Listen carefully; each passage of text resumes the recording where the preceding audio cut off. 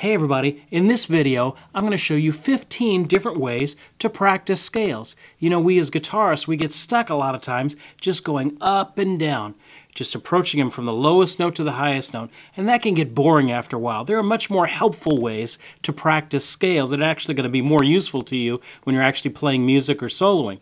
So we're going to get into those. Hey, I'm Steve Krenz for Guitar Gathering, and it's all coming up. Before we get started, make sure and download the PDF that goes along with this lesson. I put the link in the description down below. All the examples that I'm going to be talking about are written out in notation and in tab in that PDF. So it's all free, and that's going to be very helpful for you to do. There's all kinds of scales that we could start with. There's open scales that use open strings. But I'm going to choose a movable form. So if you look at that first example there, we're going to do a C major scale, and we're just going to use, up here at the seventh position, this movable form. What I mean by that, movable, is that it's based off of a root. And here our second finger on the sixth string is the root. So here it is. If I put my second finger on the sixth string at the eighth fret, that's a C. So this is a C major scale going up two octaves, just straight up.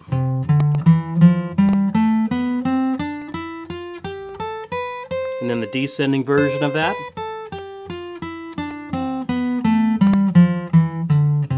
And that's how we usually practice scales. It's just going up and down, up and down these scales. After a while, that just gets so boring. So let's see if we can think of some different ways to break ourselves out of that. Well, one simple way to do that is to play it descending first instead of ascending. So if you started descending first, it would be like this. Then back up again. Even something as simple as that will break yourself out of the common pattern trap that we get in as guitar players. Well, but don't think of them as just scales. We could work on all kinds of techniques while just while using these scales. So take a look at the next thing down there. The, one of the easiest things we can do is work on our picking while we're doing scales. So we typically do a down and up pattern when you're picking uh, through a regular scale, but try doing varying it up. Let's do all down strokes. So if I did all down strokes on this, I can get a lot of power on it because of the power because of the strength of a down stroke.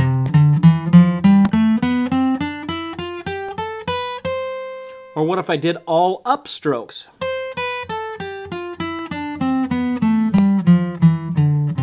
Even a simple change like that will break your, your picking habits and it will force you to kind of think about what you're doing again, and that's what we're going for.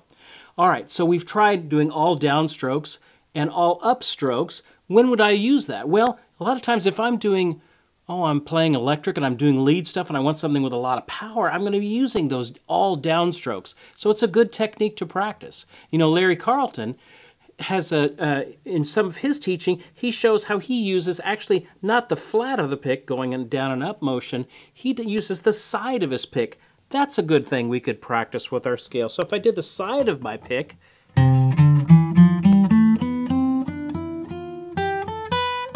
kind of an upstroke with the side of your pick.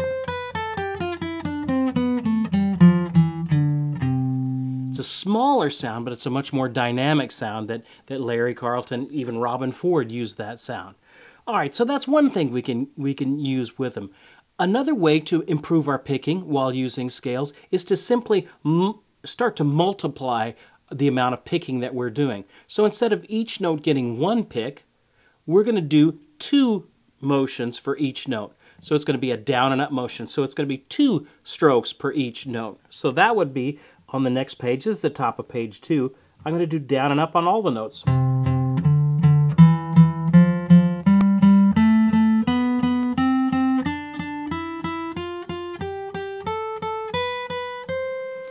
Now you'll notice on the example there, I have the first measure written out so you can see the pattern, and then I just have slashes for the next measure. So in all of these examples, when you see those slashes, that just means continue the pattern. I just didn't want to write it all out there, and you end up with a document that's 18 pages long or something.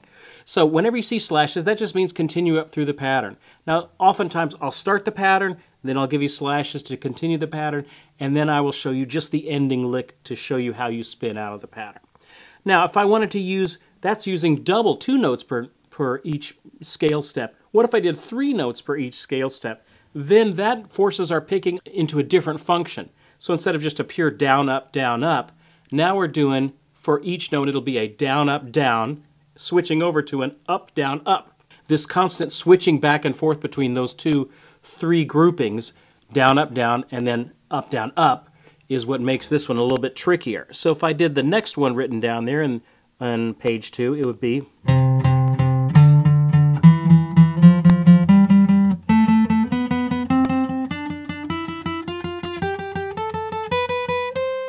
And then you can practice them descending as well. And all the way back down. You'll notice that's kind of tricky if you haven't done that kind of work before. Now, another way to practice it, maybe turn on a metronome, and you could do, instead of straight eighths like we've been playing, dot, dot, dot, dot, dot, dot, dot, dot, we're going to do swing eighths, kind of a triplet feel. Do, da, do, da, do, da, do, da, do, da. So if I did that, it would be, it would sound like this.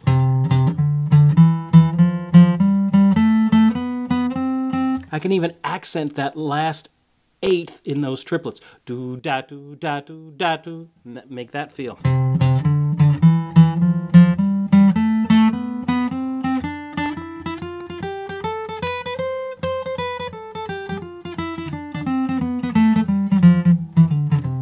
A good way to work on our jazz feel is to incorporate those triplets and those accents. Take a look at the next page. This would be page number three. What do we have there? Well, here's another way I can combine them. I can start using patterns. Now, in this one, I'm going to start easy, and I'm going to do a three-note pattern. It's kind of an up-three pattern. So we're going to go one, two, three, and then I go down to the start on the second step of the scale and do three notes from that. Two, three, four, and go up from there. So if I did that, it would sound like this.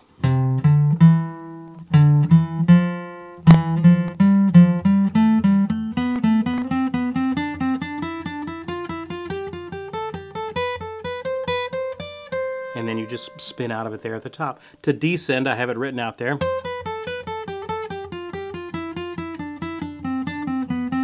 And then all the way back down. That's using a three note pattern, an up three sort of a pattern. Another thing I can do is do an up four pattern.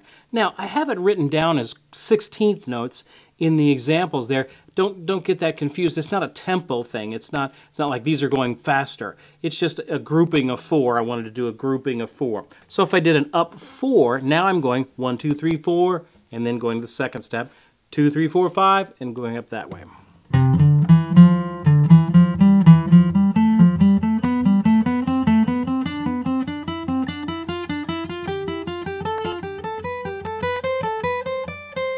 Descending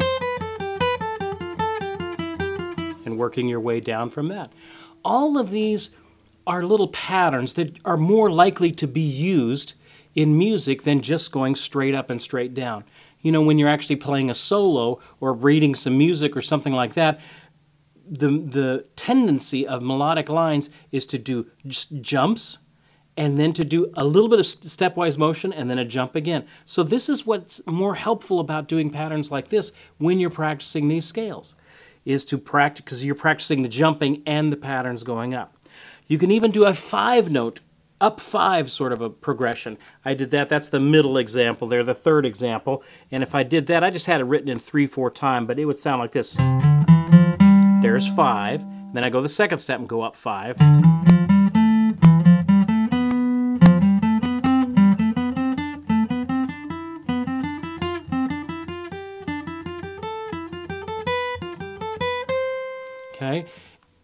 Can even finish it out and back down, then down five.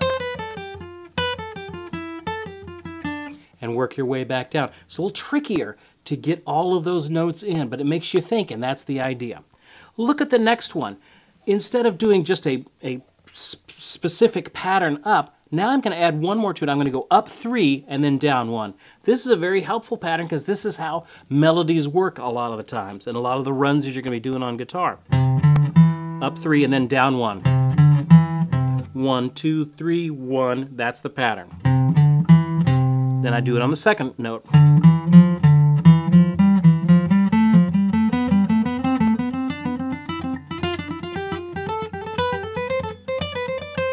Okay, and then work your way back down.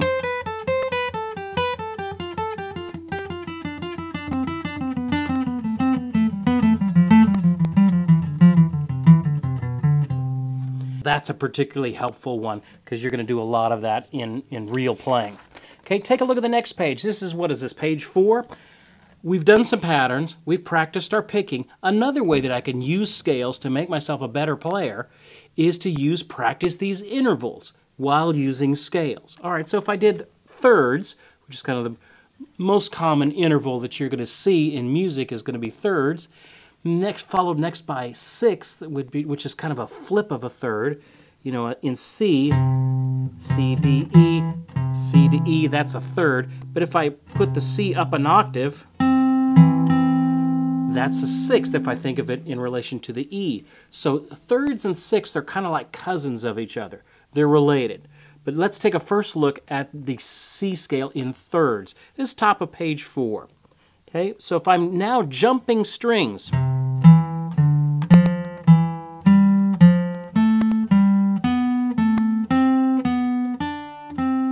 work your way all the way up. If I wanted to descend with that,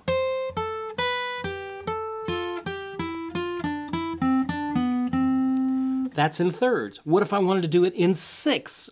Remember the cousin of thirds, okay? So that is requiring an even larger string jump, usually between one string, skipping a string, and then a, a, another string. So you have the string in between. So it becomes a different type of picking exercise, a string skipping picking exercise. So if I did it in sixth,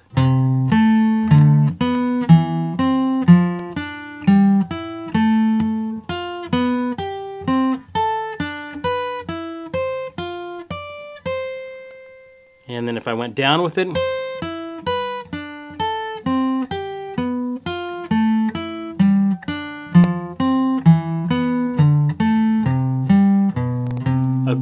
exercise. Tricky, tricky to do that, skipping those strings like that. But that's a, bit, a jump, the third and the sixth, that you're going to be doing a lot of.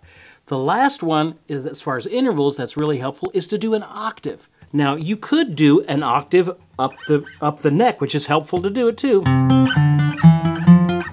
But it ends up being the same finger uh, shape going all the way up, which is helpful to practice. That's really helpful. Another way to do it is to stay in one position, and then you're constantly flipping.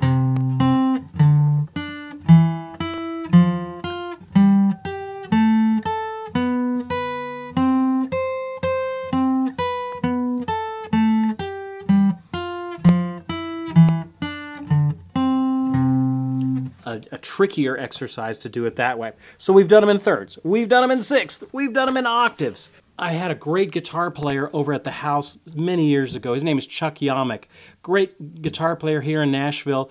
And Chuck uh, showed me a way of doing octaves, but displacing the octaves. So I do some in one octave, and then I switch to a different octave, and it creates this very jagged sort of sound when you're playing. So there's two different ways you could approach that displaced octave scenario, which I have written on page five there. You notice the first measure is I, I'm doing two in one octave, and then I jump the octave and play the third and the fourth note. Then I have the fifth and the sixth back down the lower octave, and then the seventh and eighth in the higher octave. So that first measure would be Sounds very jagged, but if you look at it, it's the same notes, C, D, E, F, G, A, B, C. I'm just displacing these octaves. Now, that's in a predictable pattern, too low, too high. Now we're going to go in an unpredictable pattern, in a random pattern. If I did that, let's say I descended, and I let's say there's no reason to this, I'm just random. So I have C, then I have the low B, A, G, F, E, D, C, B, A, G, high G, F, D, C, B. Now, wow, what a jagged sort of sound, but it truly is just the scale, C, D, E, F, G, and back up again. So if I play that descending random pattern again,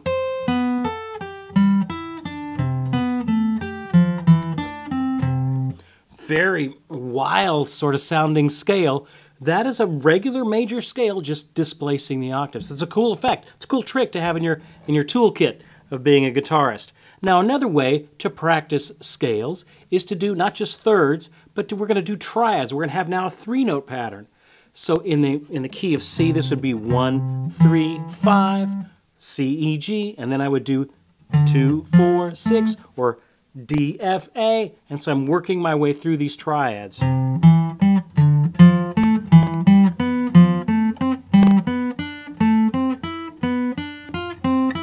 There you go.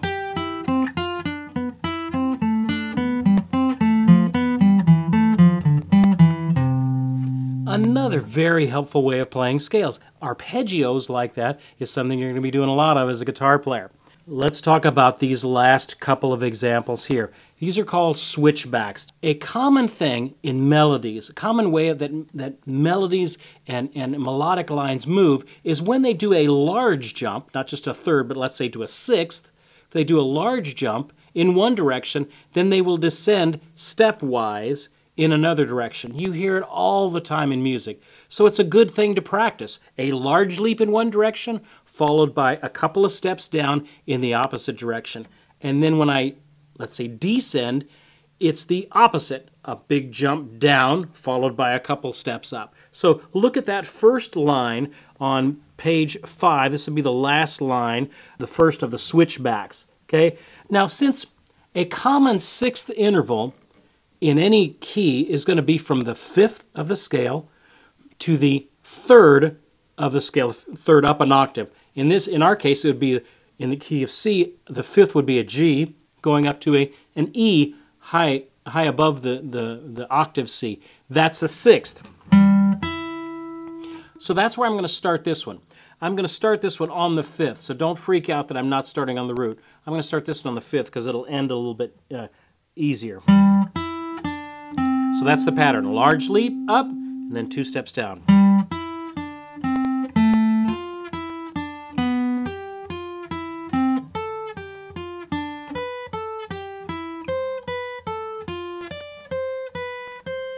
Almost sounds a little Bach uh, oriented. Very common little pattern that he used quite a bit. Let me play that for you one more time. If I sped that up, it would be...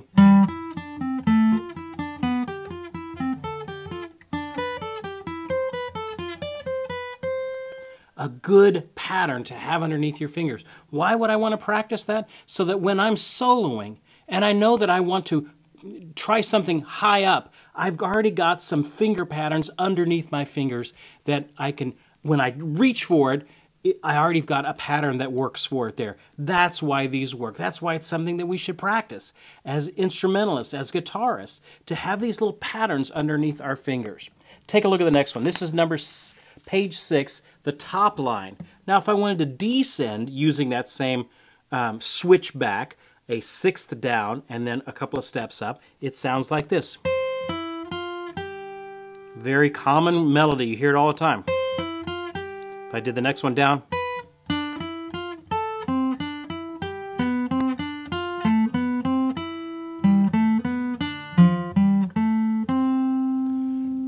tricky if you have not read that before to be able to read something like that, but so helpful because that's a pattern that you're going to play a lot.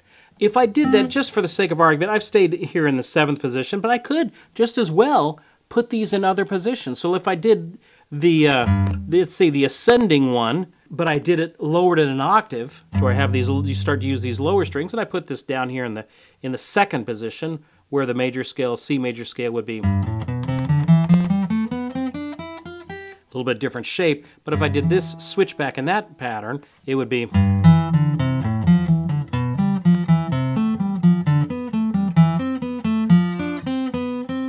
a great pattern to practice your scales. So there you go. There are some ways that you can practice your scales. Now, you we, we did these in a major scale, but you could just as well do them in a minor scale or a pentatonic scale or a natural minor scale, or a harmonic minor scale, or a melodic minor scale. Just for a second, let me talk to you about there's three types of minor scales.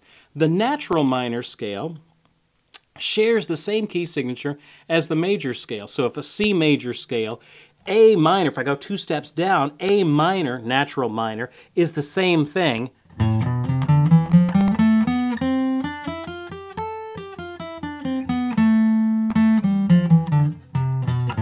Same thing as a C major scale, just starting going from A to A. Okay, that's a natural minor scale. The harmonic minor scale is the bottom half of that. Same thing, A, B, C, D, E, F.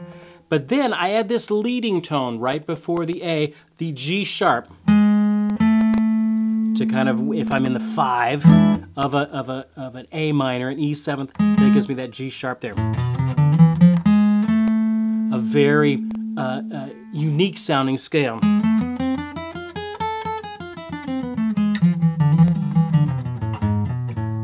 Very Spanish sounding scale. Very helpful if, I'm soloing over like an E7 flat 9 or something like that in the key of A minor. Man, I can do that scale all day long.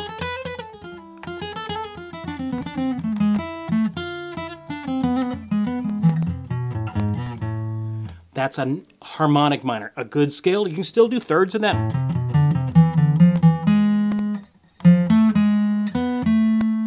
A tricky little way, it's just that one note being different, but it's a good way to practice.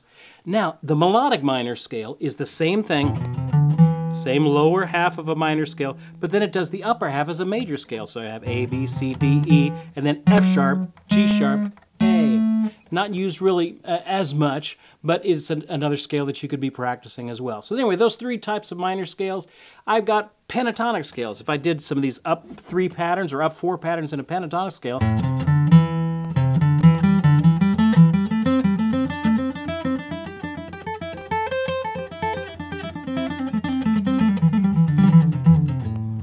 put enough distortion on that, play it fast enough, next thing you know I sound like Eric Johnson.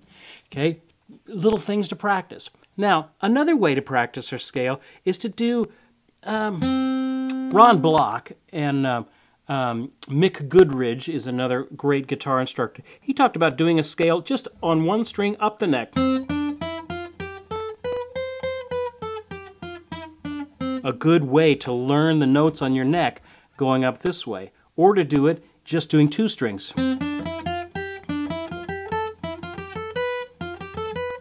Kind of folding back, fold back scales. Bluegrass players use those a lot. There you go. 15 or so different ways to practice scales rather than just going up and down. Up and down is great, but these are some extra ways that you can practice to get some extra skills underneath your, your uh, in your tool bag of being a guitar player. And you know, this is all important. I mean, I play guitar for a living here in Nashville, and these are things, these are skills that I use all the time. Hey, if you're interested in learning more about scales, I did a, um, I did a fretboard workout series called Major Scale Mastery, where we go through all uh, the open scales you need to know, a couple of movable scales, all kinds of patterns. If you're interested in diving deep into this, check out the Major Scale Mastery uh, fretboard workout series that I did. There's a Major Scale Mastery 1 and this uh, second one as well. I'll put the link up there. I hope you've learned a lot. Make sure and download the music for this. Use this in your own playing. Change keys. Go to different, you know, do them in F and then do them in G. Playing with a metronome. That's a good habit to get into. All these things can help your playing. Hey, I'm Steve Krenz for Guitar Gathering, and we will see you next time.